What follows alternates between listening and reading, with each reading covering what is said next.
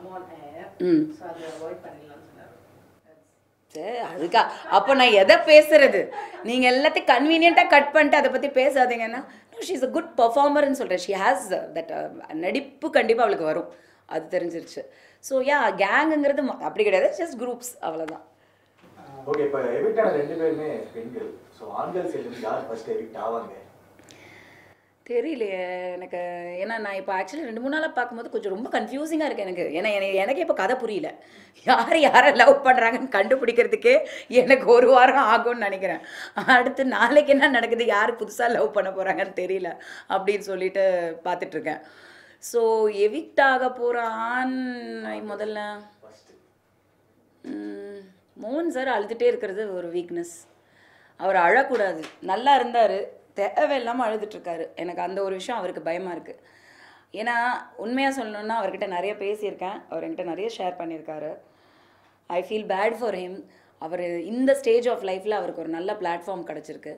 அதுலேருந்து வர்ற ஒரு இன்கமும் அவருக்கு ரொம்ப யூஸ்ஃபுல்லாக இருக்கும். வெளியில் வந்தாலும் அவருக்கு சினிமா வாய்ப்புகளோ சீரியல் வாய்ப்புகளோ இது கண்டிப்பாக அவருக்கு வரணுன்றது தான் என்னோட இது.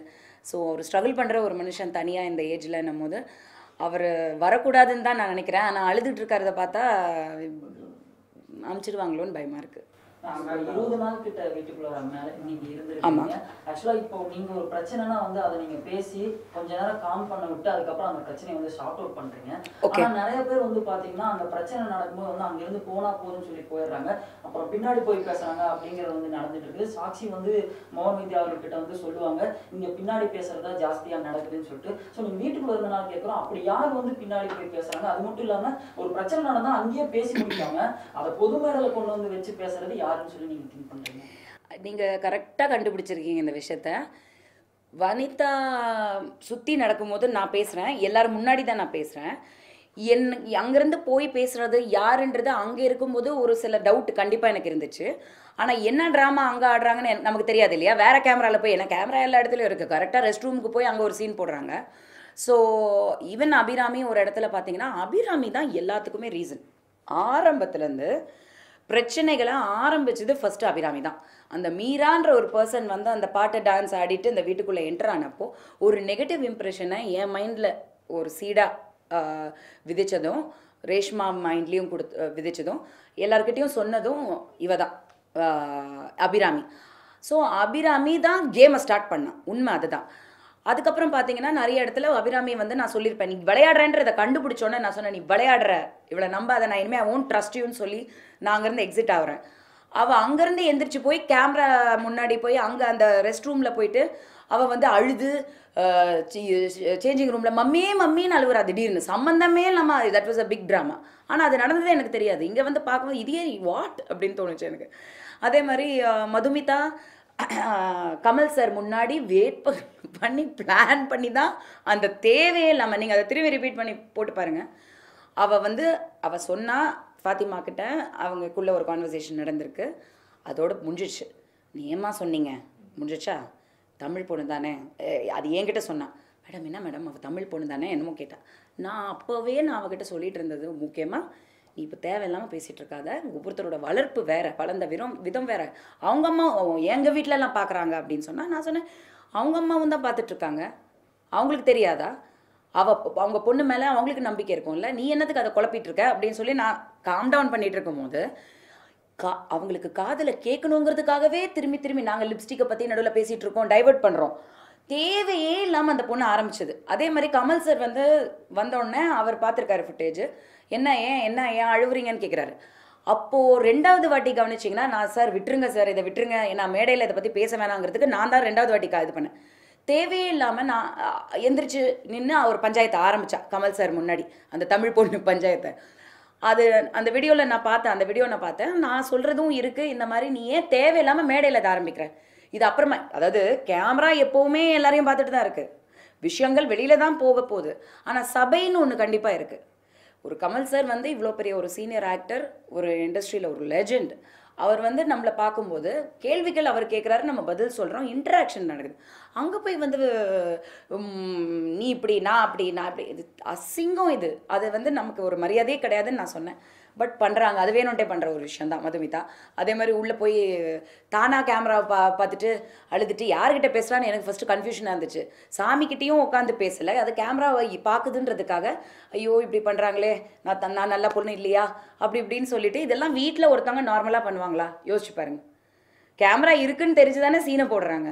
ஸோ இட்ஸ் ஆப்வியஸ் அது ஒன்று அவ. பாத்திமா ஆல்வேஸ் அவங்க வந்து அதான் சொன்னேன் கன்ஃபியூஸ்டு சொல்லாமா வேணாமா? இன்டர்ஃபியர் ஆகலாமா? ஆனால் ஆவாங்க. ஆனால் பின்னாடி பேசுவாங்க. ஸோ அவங்க அப்படி. So Losliya's one person definitely என் முன்னாடி ஒரு கமெண்ட் கூட பெருசாக அடிக்கவே மாட்டான் இப்போ என் பின்னாடி போய் வந்து அவங்க யாரையுமே பேச விட மாட்டாங்க. அவ அவங்க கூட கிடையாது. அவ யாரையுமே பேச மா விட மாட்டா அப்படின்னு சொல்லி சொல்கிறான் ஏன் அது ஏன் முன்னாடியே அக்கா நீங்கள் ஏன் எங்களை பேச விட மாட்டேங்கிறீங்க? அப்படிங்கிறத ஒருத்தர் கேட்டாங்களா என்ன? அப்படி ஒரு சூழ்நிலை இருந்தா. நான் எல்லாருக்குமே பேசுறதுக்கு சான்ஸ் கொடுக்குறேன். ஆனால் ஒரு விஷயம் நான் ஏன் மது அது மதுமித்த மேட்டரில் தான் லாஸ்ட்லி அந்த கமெண்ட் அடிச்சிருக்கேன் அந்த இது என்ன ஸ்பீச்சு மோட்டிவேஷ்னல் ஸ்பீச் இப்போது நீங்கள் ஃபஸ்ட்டு அந்த மோட்டிவேஷ்னல் ஸ்பீச் அந்த பொண்ணு அங்கே ஆரம்பித்ததும் சரி இங்கே கமல் சார் திரும்பியும் வாய்ப்பு கொடுத்தாரு. அந்த வார்த்தைக்கு அர்த்தமே டிஃப்ரெண்டான ஆயிடுச்சே தவிர இந்த இந்த ஷோ மூலியமா. மோட்டிவேஷனுக்கும் இது சம்மந்தமே இல்லாமல் தான் அவள் பேசுகிறா அதனால தான் நான் சொன்னேன் நீ டாபிக்கு வா டாப்பிக்கு வான்னு. அதை விட்டுட்டாங்க. தர்ஷன் வந்து கமெண்ட் அடிச்சிருக்கான் பாத்ரூமில் இந்த மாதிரி அவங்க பேச விடையில இந்த மாதிரி வந்து அவள் வந்து ஆரம்பித்து சொல்ல வந்ததுன்னா இதுலேருந்து நான் கற்றுக்கிட்டது என்ன அப்படிங்கிறது. அதுவுமே லைஃப் எக்ஸ்பீரியன்ஸ் மோட்டிவேஷன்னா நீங்கள் கீப் கோயிங் நான் கடைசியில் பேசினேன் பாருங்கள் தட் இஸ் மோட்டிவேஷன் ஸோ அதை நான் புரிய வைக்க ட்ரை பண்ணிட்டு இருந்தேனே தவிர அவள் பேச வேணாம்னு நம்ம சொல்லவே இல்லையே. ஸோ யா எல்லாருக்குமே நிறைய பேருக்கு அந்த ஹேபிட் இருக்குது except Reshma except Sherin except Sakshi except Kavin also Kavin அங்கே இருக்கிற எல்லா ஆம்பளைங்களிலுமே எனக்கு அந்த பையனை பிடிக்கும்னு நான் எல்லா இன்டர்வியூஸ்லையுமே சொன்னேன். ஒய் பிகாஸ் அவன் ட்ராக் லவ் அது அவனோட பர்சனல் ஒரு ஜாலிக்கு பண்ணிட்டு இருக்கான். எந்த பொண்ணோடையும் அவன் மிஸ்பிஹேவ் பண்ணலை. அது மட்டும் எனக்கு நல்லாவே தெரியும். தேவையில்லாமல் அவன் கமிட்மெண்ட்லாம் கொடுக்கல. ஓகே பட் அவன் வந்து ஒரு தைரியமான பையன். ஏன்னா எங்கள் முன்னாடியே வந்து நியாயமாக என்கிட்டயும் பேசியிருக்கான். என் முன்னாடியும் பேசியிருக்கான். அவன் அச்சப்படுறதே இல்லை பேசுகிறதுக்கு தர்ஷன் தேவைப்பட்டா பேசுவார். தேவையில்லைன்னா பின்னாடி போய் பேசுவார். So that is also not ரைட்ல so anyway but yeah Losliya specifically இங்கே யார் முன்னாடி எப்போவுமே பேச மாட்டா கேமரா முன்னாடி தனி ட்ராக்கு அவள் இந்த வீட்டிலக்குள்ளேயே நான் பார்த்ததில்ல அவளை. எப்போ பாரு ஏன்னா அவளுக்கு என்ன ஃபிக்ஸ் பண்ணிட்டான்னா நான் கிச்சனில் இருக்கேன். ஸோ இந்த இன்டோர் ஷூட்டிங் எல்லாம் வந்து வனிதாக்கா பார்த்துப்பாங்க நான் அவுட்டோர் ரிலீஃப் அதனால நான் பாட்டு பாடி டான்ஸ் ஆடிட்டு லவ் பண்ணிகிட்டே இருப்பேன். அவள் வீட்டுக்குள்ளே வரவே மாட்டான் நைட்டு ஒரு மணிக்கு கூட வெளியில தான் உட்காந்துருப்பான் நாங்கள் எல்லாம் போனதுக்கப்புறமா உட்காந்துட்டு இருப்பா வெளியில். லா அது கேமரா எல்லாம் பேசிட்டு தான் வருவா அவள் அது அவளோட கேம் பிளேயிங் அது அப்படி. ஸோ எல்லாரும் பத்தியும் சொன்னீங்க. சாண்டியை பத்தி எதுவும் சொல்லல. இன்ஃபேக்ட் அவர் வந்து எல்லாமே ஃபன்னா பண்றாரு. இது ஒரு ஸ்ட்ராட்டஜின்னு எடுத்துக்கலாமா? இல்ல அவர் இல்லை இல்லை. சாண்டி சி நான் இதை இன்னொரு இன்டர்வியூலையும் சொல்லியிருந்தேன். சாண்டியை பொறுத்த வரைக்கும் என்னென்னா டா நீங்கள் எல்லாரும் டான்சர்ஸ் டான்ஸ் மாஸ்டர்ஸோட அவ்வளோவா டைரெக்டாக ஒரு இன்ட்ராக்ஷன் யாருக்குமே இருந்திருக்காது. அவ்வளவா. அதுவும் இல்லாமல் இது மக்களுக்கு பெருசாக தெரியாது ஓகேயா சாண்டியை பொறுத்த வரைக்கும் ரெகுலராகவே டான்சர்ஸ் டான்ஸ் மாஸ்டர்ஸ் இப்படி தான் இருப்பாங்க. கலாய்ச்சிட்டு காமெடி பண்ணிட்டு. ஸோ அது வந்து டிப்பிக்கல் கேரக்டர்னு தான் சொல்லணும். ஸோ இந்த மாதிரி வந்து நான் நிறைய பேரை லைஃப்பில் சந்திச்சிருக்கிறேன். அந்த அந்த எஸ்பெஷலி அந்த கேரக்டர் அந்த டிசிக்னேஷனில் டான்சர் டான்ஸ் மாஸ்டர்னு ஸோ அது அவனோட பேசிக் கேரக்டர் தான். அண்ட் uh, நானும் சாண்டியும் நிறைய கலாய்ச்சிட்டு இருப்போம் இது பண்ணுவோம். நான் எதா போ நான் எதா அந்த மீரா வந்து ஃபாத்திமா பாபு கிட்ட வந்து சண்டை போட்டுட்டு இருந்தப்போ நான் பெட்டில் படுத்துட்டு சிரிச்சிட்டு இருந்தேன். ஏன்னா சாண்டி அங்கேருந்து வந்து பற்ற வச்சுட்டே பரட்ட அப்படின்னு என்கிட்ட ஏதோ சொல்லிட்டு இருந்தான் அதனால நான் வந்துட்டு see the show must go on finally என்ன? Bigg Boss show has to go on மக்கள் பார்க்குறாங்க. நாங்கள்லாம் வந்து என்டர்டெய்னர்ஸாக தான் உள்ளே போயிருக்கோம். ஸ்கிரிப்ட் இருக்குது இல்லை. அதெல்லாம் விட்டுடுங்க. அவங்கவுங்க ஒரு ஒரு ஸ்கிரிப்டை க்ரியேட் பண்ணுறாங்க டூ ஹண்ட்ரட் பர்சன்ட் இது ஒரு ஸ்கிரிப்ட் கிடையாது. ஃபிஃப்டீன் ஸ்கிரிப்ட்ஸ் ஓடுது. அட்லீஸ்ட் என்னை சுற்றி பதினஞ்சு ஸ்கிரிப்ட் ஓடுது. பிக் பாஸுங்கிற ஒருத்தர் வந்து வேற அவர் பற்ற வச்சுக்கிட்டே இருக்கிறாரு. டாஸ்க்கை கொடுத்து டாஸ்க்கை கொடுத்து கரெக்டாக பிளான் பண்ணி பண்ணிகிட்ருக்காங்க இருக்காங்க. ஸோ ப்ராப்ளம்ஸ் வராமல் இருக்க வாய்ப்பே கிடையாது. இன்ஃபேக்ட் நான் மீடியா நேத்திக்கு ஒருத்தர் என்கிட்ட சொன்னார். அந்த நீங்கள்லாம் போனீங்கல்ல மீடியா பீப்புள் ஒரு ஃபஸ்ட் டே போனாங்கல்ல ஒன் டே போன அன்னைக்கு சண்டை வந்துருச்சாங்க அவர் சொன்னார் ஒரு அமானுஷ சக்தி கண்டிப்பாக இருக்குது மேடம். தேவையே இல்லாமல் ஒரு சண்டை எங்களுக்கும் வந்துச்சு அப்படின்னு. ப்ராபப்ளி அந்த பிக் பாஸ் ஹவுஸ் அப்படிங்கிறது வாட் நம்ம இங்கே என்ன பண்ணணும்? ஒரு சின்ன விஷயம் வந்தாலும் நான் அதை கமல் சார்கிட்டையும் சொன்னது நார்மல் லைஃப்பில் இப்போ மதுமிதாவோ யாரோ ஒருத்தர் இந்த மாதிரி வந்து ஏதோ ஒரு தேவையில்லாமல் பேசிகிட்டு இருந்தாங்கன்னா நம்ம கிளம்பி போயிட்டே இருப்போம். இங்கே எங்கே போவீங்க? போகிறதுக்கு இடம் இல்லையே. நின்று பஞ்சாயத்து பண்ணி அதை முடிச்சு தானே ஆகணும். ஸோ அது அது வளர்க்குற விஷயமே கிடையாது. அண்ட் சாண்டி பொறுத்த வரைக்கும் நான் கமிட்டல் யாருக்கிட்டையுமே வந்து தேவையில்லாமல் தேவையில்லாத பேச்சு எதுவுமே இருக்காது.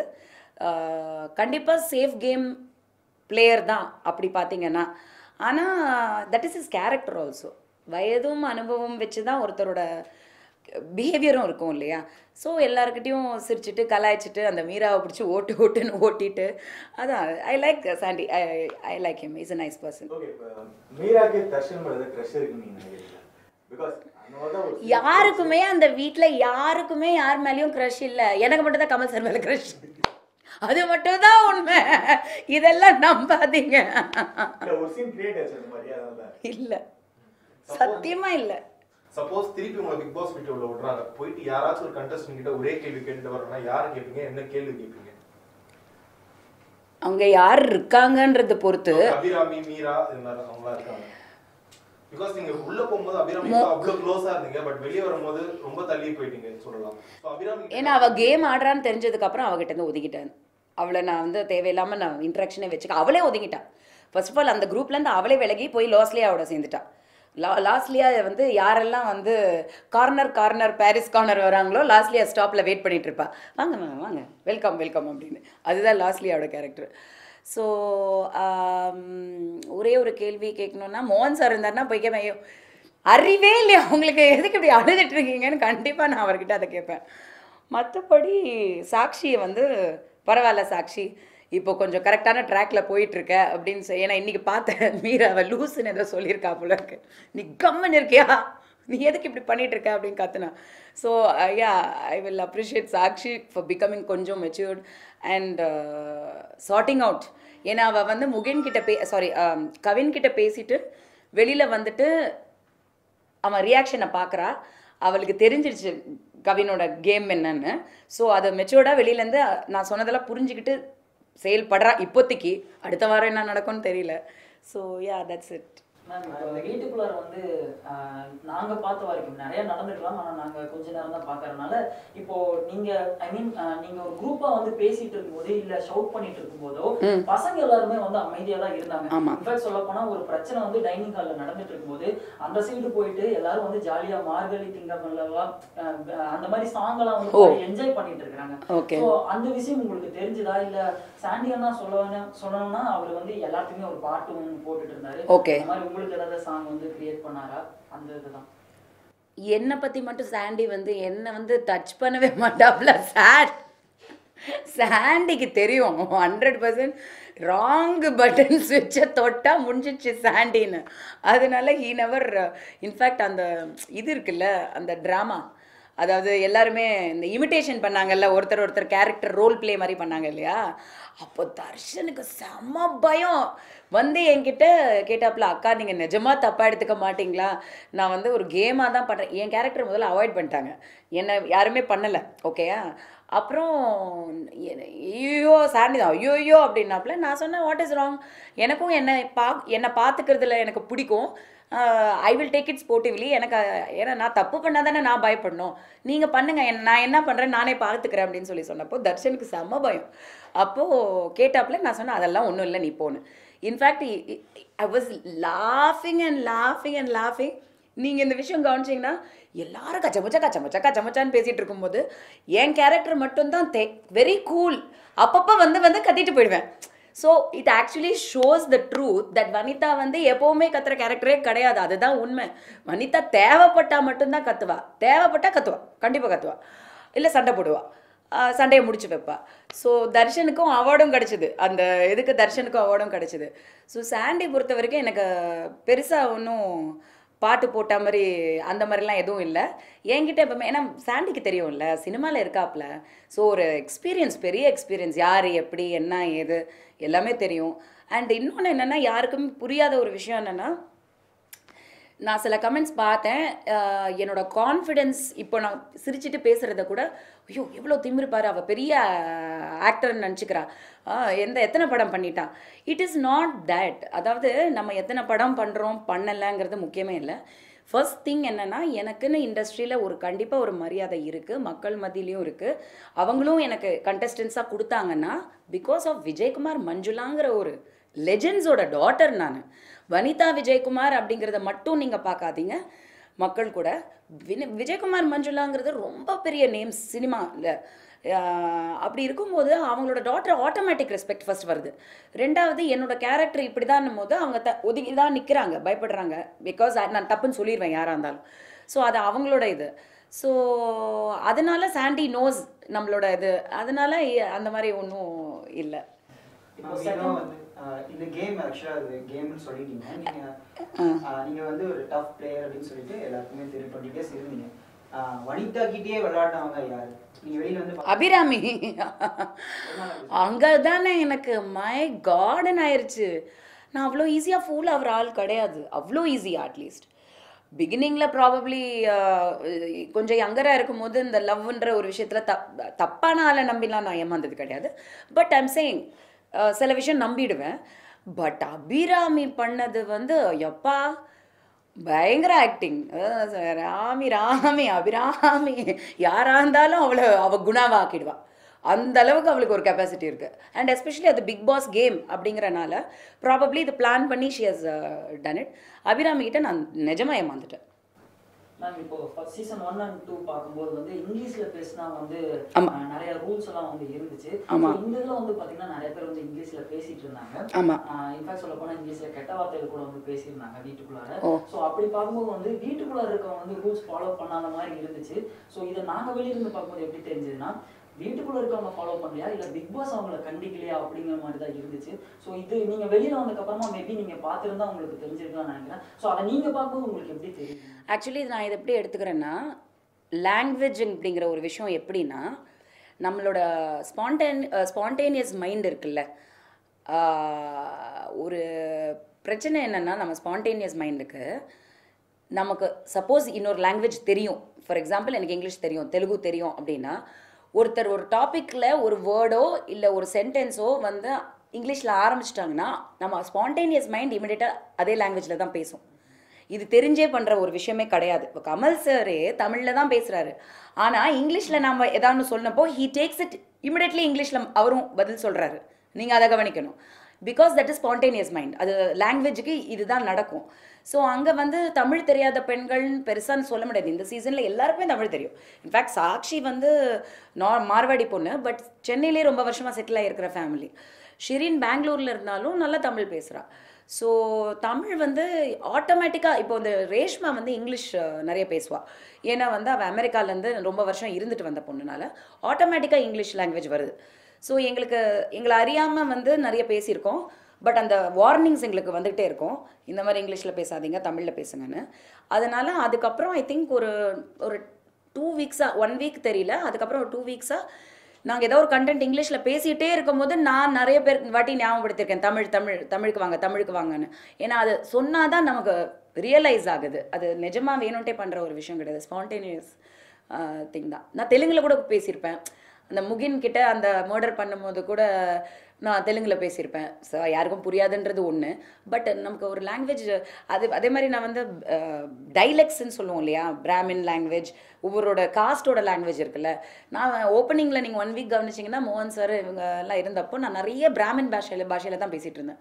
ஸோ அது வேணும்ட்டே பேசுறது கிடையாது. நமக்கு அந்த நான் பத்மா சேஷாத்ரியில் படித்தேன் ஸோ பிராமின்ஸோட பேசும்போது எனக்கு ஆட்டோமேட்டிக்காக பிராமின் பாஷை வந்துடும் இப்போவும் வந்துடும் ஸோ அதெல்லாம் அந்த ஸ்பான்டேனியஸ் மன் மைண்ட் பண்ணுற வேலை.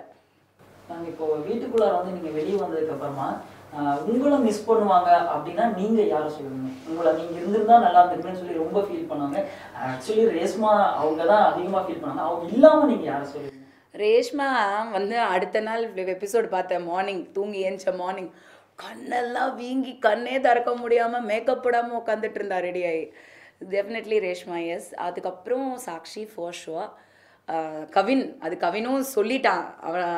Is is actually Kavin is very close to me so அவன் ஏதாவது ஒரு தப்பு பண்ணிட்டானா அப்படியே எட்டி பார்ப்பான். ஏதாவது கடலை போட்டானா. என்னோட ரியாக்ஷன் என்னன்னு. நானே ஒரு இடத்துல சொன்னேன் வந்திருக்காது. சினிமாவில் ராஜசேகர் ஜீவிதா பற்றி நீங்கள் கேள்விப்பட்டிருப்பீங்கல்ல ஆக்டர் ராஜசேகர். அவர் ஒரு ஒரு டேக் முடிஞ்சோடனே கட் அப்படின்னா ஜீவிதாவை தான் பார்ப்பாரு ஃபஸ்ட்டு அவங்க ஓகே சொன்னால் தான் ஓகே அப்படி ஒரு ரிலேஷன்ஷிப் அவங்களுக்கு இருக்குது எங்கள் அப்பா வந்து ராஜசேகர் படம் பண்ணும்போது ஷூட்டிங் பண்ணாரா? அப்போ வந்து இதே மாதிரி பா- இதை பார்த்துட்டே இருந்துட்டு அவருக்கு ஒரு ஸ்டேஜுக்கு மேலே கட்டுன்னு அவர் டேரக்டரை பார்க்குறது இல்லை. அவர் ஜீவிதா பார்த்து ஓகே அப்படின்னு கேட்க ஆரம்பிச்சிட்டாரு. ஸோ அந்த மாதிரி இந்த கவின் எங்கேயாவது நான் அவனுக்கு தெரியும் நான் அவனை பிடிப்பேன்னு. ஏதான்னு ஒன்று பேசும்போது டக்குன்னு என்னை பார்ப்பான். பார்த்துட்டு அக்கா எனக்கு தெரியும்க்கா அப்படின்வான் so Kavin will miss me and Sherin for sure Sherin and Cheran Anna because definitely Cheran அண்ணா அண்ட் நானும் நிறைய சினிமா விஷயங்கள் எங்கள் அம்மா நிறைய விஷயங்கள் பேசணும். ஸோ ஒரு கான்வர்சேஷனிஸ்ட் அப்படின்னு பார்த்தா சண்டை போடுறதுக்கும் வனிதா தேவை கான்வர்சேஷனுக்கும் கண்டிப்பாக வனிதா தேவை. ஸோ அங்கே actually most of the people probably Losliya is very happy ஏன்னா வனிதா போனதில் அவளுக்கு ஒரு பெரிய மெயின் ட்ராக் ஓப்பன் ஆயிடுச்சு அப்படின்றது அவள் மைண்டில் இருக்கும். மோகன் சார் மோகன் சார் வில் இப்போ he must be missing me more அதுதான் அழுதுகிட்டே இருக்கிறாரு அவர். ஓ யா ஸோ எல்லாரையும் மிஸ் பண்ண வச்சுட்டு அந்த தமிழ்நாடே மிஸ் பண்ண வச்சுட்டேன்ல. கொஸ்டின் இப்போ வந்து நீங்க வெளியே வந்ததுக்கு அப்புறம் வந்து அடுத்த வனிதா வந்து மீரா அப்படிங்கிற மாதிரி ஒரு டாக் வந்துச்சு. ஸோ அடுத்த வனிதாவா பிக் பாஸ் வீட்டில் யாரும் இருக்க முடியுமா? அது இது இது எப்படின்னா சந்திரமுகியாக மாறுகிறார். அப்படிதான். வனிதா யாரு? அப்படின்னா வனிதாவா இருக்க முடியுமானா Vanitha is actually a person who's very transparent very outspoken who cares a damn about anything except definitely I care about my people my நான் என்னோட என்ன சம்மந்தப்பட்ட ஒருத்தரை ஹர்ட் பண்ணுறதோ இது பண்ணுறதோ கண்டிப்பாக I care about them but எனக்கு சம்மந்தம் இல்லாதவங்களுக்கு மேலே எனக்கு அக்கறை இருக்கு அக்- அது தெரிஞ்சுக்கிட்டா நான் அக்கறை வரும். வாட் ஐம் சேயிங் இஸ் அவங்க என்ன நினைக்கிறாங்க என்னை பற்றி ஃபார் எக்ஸாம்பிள் இப்போ ட்ரோலர்ஸ் சோஷியல் மீடியாவில் memes I am taking it with a laugh because it's like அவங்க எனக்கு பிரச்சனை இருக்கும் போது வந்து எனக்காக நிற்கலை நிற்கவும் போகிறதில்ல எனக்கு தெரிஞ்சவங்களே யாருமே நிற்கலையே என்னை பிடிச்சவங்களே நிறைய பேர் இருக்காங்க இண்டஸ்ட்ரியில் யாருமே எனக்காக இது வரைக்கும் ஒரு ட்வீட் மெசேஜ் எனக்கு ப்ராப்ளம் இருந்தப்போ ஒன்றுமே கிடையாது. நேரில் பார்த்தாங்கன்னா ஒரு சில லைக் ரஜினி அங்கிள்னா நான் நான் நிறைய பேசி இது பண்ணேன். பட் வெளியில் ஓப்பனாக சொல்கிறேன் ஸோ அப்படி இருக்கும்போது வனிதா மாதிரி ஒரு பர்சன் ரொம்ப ரேர் உண்மையான வேர்டு நானே சொல்லிக்கிறேன். ரொம்ப ரேர் ஏன்னா இன்றைக்கி இருக்கிற உலகத்தில் வந்து நிறைய சீட்டிங் நிறைய ஏமாத்துறது ஒருத்தரை வந்து மிஸ்கைடு பண்ணுறது ஜெல்லசி இதெல்லாம் நிறைய எல்லாருக்குமே இருக்குது ஏன்னா காம்படிட்டிவ் வேர்ல்டு ஆயிடுச்சு. அங்கே உள்ள காம்படிஷன் தான் ஜாஸ்தி. பட் என்ன மாதிரி ஒருத்தர் கண்டிப்பாக அமிச்சா நல்லாயிருக்கும். பட் அதை ரீப்ளேஸ் பண்ணுறதுக்கு அங்கே இப்போதைக்கு ரேஷ்மா ஓரளவுக்கு she can be like me because similar character தான். சிமிலர் கேரக்டர் தான். மேபி மை ஆக்சுவலி ரேஷ்மா நல்ல சவுண்டாக பேசுவா. அதெல்லாம் கேட்கல அந்த எங்கள் அப்பாவோட என்னோட பெரிய சொத்தே வந்து எனக்கு கொடுத்த வாய்ஸ் தான். அது அவருக்கே தெரியும். ஐயோ கடவுளேன்னு இப்போ ஃபீல் இவ சும்மாவே இருக்க மாட்டாளா? எதுக்கு பேப்பரில் வந்துக்கிட்டே இருக்கா? படமே நடிக்கிறது இல்லை. ஆனால் பாப்புலராகவே இருக்காளே. அப்படிங்கிறது தான் என் ஃபேமிலியோட மைண்ட் வாய்ஸு அது எதுக்காக அவளை என்ன கிரிட்டிசைஸ் பண்ணுறாங்கன்றது முக்கியமாகவே இருக்காது. ஏன்னா அவங்களுக்கு எல்லாருக்கும் என்ன நல்லா தெரியும். இன்ஃபேக்ட் தே டெஃபினெட்லி நான் தைரியமாக சொல்லுவேன் என் ஃபேமிலியே என்ன மிஸ் பண்ணுற ஒரு சுச்சுவேஷன் தான் இன்றைக்கும் வனிதா இல்லாதது நான் ரொம்ப ஜாலி ரொம்ப இந்த மாதிரி தான் அங்கேயும் இருப்பேன். ஸோ அவங்களும் அது அவங்களுக்கும் ஒரு ஏக்கம் தான். ஆனால் வந்த உறவுகள் வந்து கிளாஷ் ஆனனால அவங்க லைஃப்பை தானே அவங்க பார்க்க முடியும். அதனால தான் ஸோ ஃபைனல் கொஸ்டினாக ஒன்று ஸோ நீங்கள் வீட்டுக்குள்ள ஒரு டுவெண்ட்டி டேஸ் இருந்திருக்கீங்க. ஸோ ஷோர் யுவர் கெஸ்ட்ல யார் அந்த நூறாவது நாள் கிட்ட ஒரு ரெண்டு கண்டஸ்டன்ட் கண்டிப்பாக அந்த நூறாவது நாளில் இருப்பாங்கன்னா யாரை சொல்லுவீங்க? அதே நேரத்தில் இந்த வாரம் எலிமினேட் யார் ஆவான்னு சொல்லிட்டு உங்களோட கெஸ் யார்? இல்லை என்னால் எதுவுமே ஆக்சுவலாக அனலைஸ் பண்ண முடியல. ஏன்னா மக்கள் ஓட்டு எதுக்காக போடுறாங்க எதுக்காக போடலைங்கிறது எனக்கு அந்த ஓட்டிங் ப்ராசஸ் எனக்கு புரியல. See அவங்க ஷோ இன்ட்ரெஸ்டிங்காக இருக்கணும். அப்படின்னு நினச்சி பார்க்குறாங்களா இல்லை த ஒன்லி யாருமே வாய் திறக்காமல் குவைட்டாக இருக்கிறவங்க மௌனப்படமாகி கடைசியில் யாருமே பேசாத அளவுக்கு கொண்டு போகணும்னு நினைக்கிறாங்களான்றது ஃபஸ்ட்டு டவுட்டு ஸோ அவங்க என்டர்டெயின்மெண்ட்டுக்காக பார்த்தாங்கன்னா அதுக்கேற்றாப்புல என்னை ஃபஸ்ட்டு வெளியில் அமைச்சிருக்க கூடாது ஸோ அப்படி இருக்கும்போது ஐ எம் நாட் என்னால் மக்கள் கணிப்பு வந்து ஆனால் நான் இதை ஒரு இன்னொரு ரெண்டு சொன்னேன். தமிழ்நாடுக்கே வந்து ஒரு குவாலிட்டி இருக்குது நம்ம ஓட்டு போடும்போது யோசிக்கவே மாட்டோம். தப்பாக ஓட்டை போட்டுட்டு ஐயோயோ தப்பு பண்ணிட்டோமே அப்படின்னு ஃபீல் பண்ணுற டெண்டன்சி நம்ம திருந்தவே மாட்டோம் நம்ம. ஸோ அதனால் யார் வருவாங்கன்னு எனக்கு தெரியல. பட் லாஸ்ட் டூ போகக்கூடிய ஒரு கெப்பாசிட்டி வந்து யாருக்குமே என்ன மாதிரி வந்து குழந்தைங்க கமிட்மெண்ட் அந்த மாதிரி ப்ராப்ளம்ஸ் பெருசாக இல்லையே எக்ஸப்ட் சரவணன்னா அது கூட அவர் சொல்லிகிட்டே இருக்காரே தவிர I don't think he wants to go அது சும்மா. பட் போகக்கூடியது ப்ராபப்ளி